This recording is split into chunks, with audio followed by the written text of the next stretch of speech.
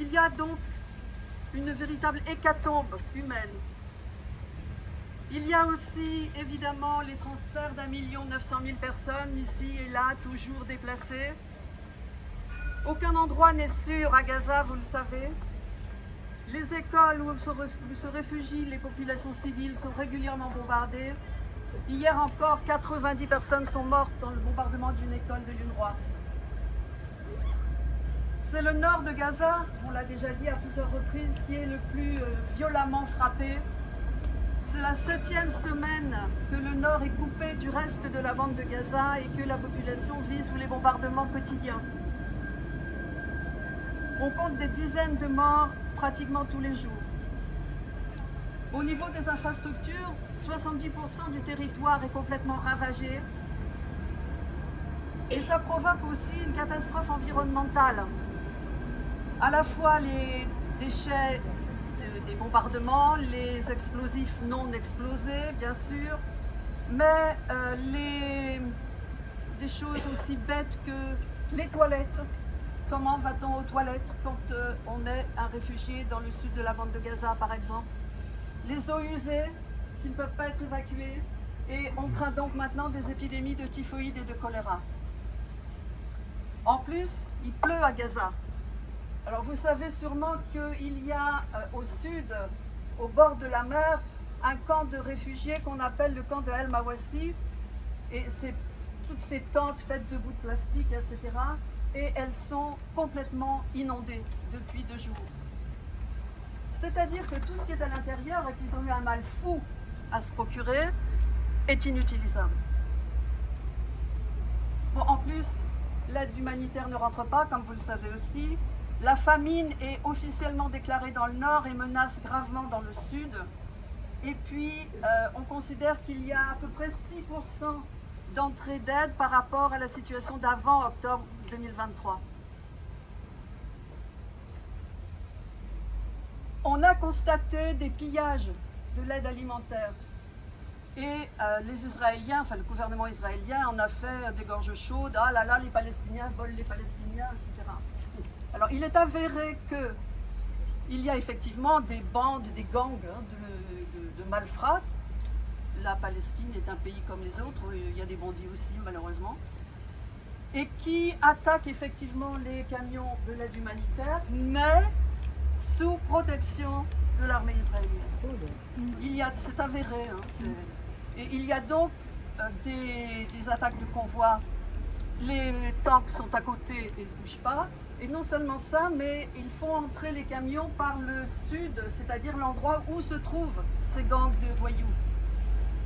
Donc là, il y a un affamement encore délibéré.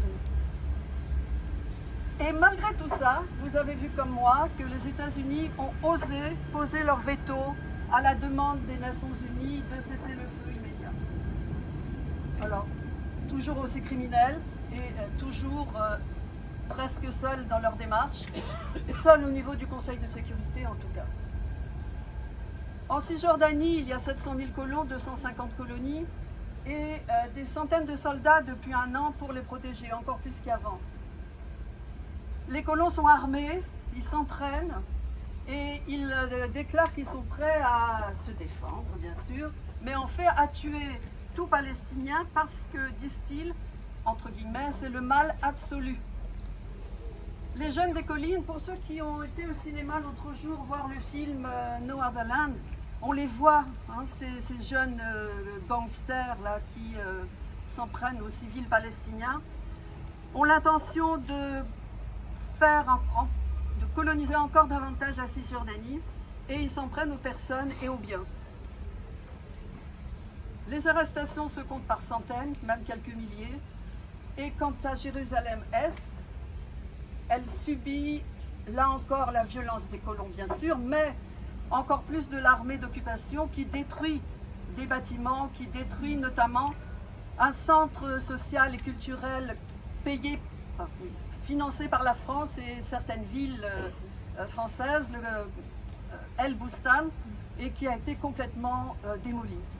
Là, on est devant une forme de provocation évidente par rapport aux autorités françaises, par rapport à la politique qui, a quand même infléchi son discours au, niveau de la France depuis, un an, et de même que l'attaque des policiers qui accompagnaient le ministre dans un territoire français à Jérusalem était aussi une provocation.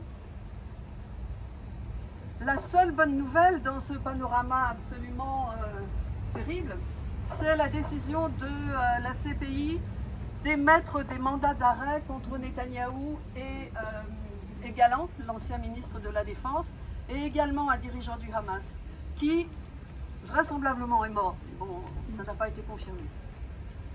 Et donc, ça veut dire que tout pays qui adhère à la CPI, il y en a 125, est tenu d'arrêter ces deux personnages épouvantables s'ils se rendent sur le territoire de tel pays, la France par exemple. Ça a fait des réactions en chaîne aux États-Unis, en Israël bien sûr. Netanyahou ose comparer au capitaine Dreyfus. Il euh, parle immédiatement d'antisémitisme. Toutes les Nations Unies sont antisémites, bien évidemment. Et euh, l'Argentine a suivi le, même chemin. Et quant à Orban, fasciste euh, bien connu en Hongrie, il vient de dire qu'il allait inviter Netanyahou, lui. Or, la Hongrie euh, fait partie de la CPI. Mais c'est un événement majeur quand même, et c'est bien pour ça qu'ils sont en train de grimper au rideau euh, à Tel Aviv.